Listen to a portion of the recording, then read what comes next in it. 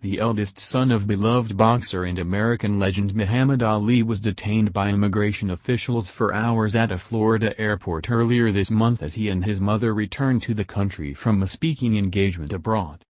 The Louisville Courier-Journal reports that 44-year-old Muhammad Ali Jr and his mother Khalila Camacho Ali arrived at the Fort Lauderdale Hollywood International Airport on February 7 upon returning from a Black History Month speaking engagement in Montego Bay, Jamaica, and they were pulled aside while going through customs because of their Arabic-sounding names.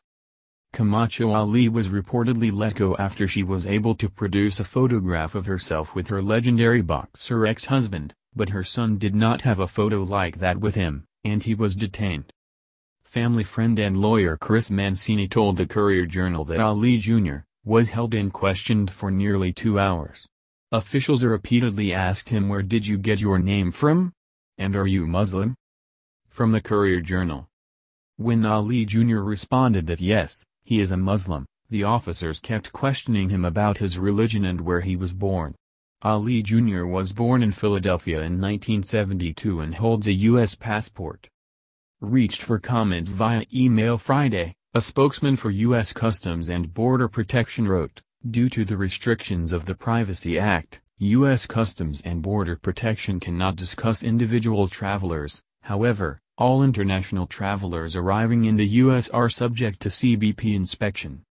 The line of questioning is indicative of profiling and designed to produce answers that corroborate what officials want to hear, Mancini said. Neither Camacho Ali nor Ali Jr. have ever been subjected to detainment before, despite extensive global travel experience, he said. To the Ali family, it's crystal clear that this is directly linked to Mr. Trump's efforts to ban Muslims from the United States, Mancini said, referring to Trump's January 27 executive order that temporarily banned people from seven Muslim-majority countries from entering the United States. More from the Courier-Journal. Officials at the Fort Lauderdale airport did not immediately respond to requests for comment Friday. Camacho Ali and Ali Jr. live in Deerfield Beach, Florida, a 20-minute drive from the airport. While Ali Jr. was detained, Camacho Ali ran around the airport asking, where's my son? And begging for help, according to Mancini. Because incidents involving customs officials are considered to be on federal soil, Local police had no jurisdiction to help her. Ali Jr. was eventually released two hours later, and the family contacted Mancini the following day.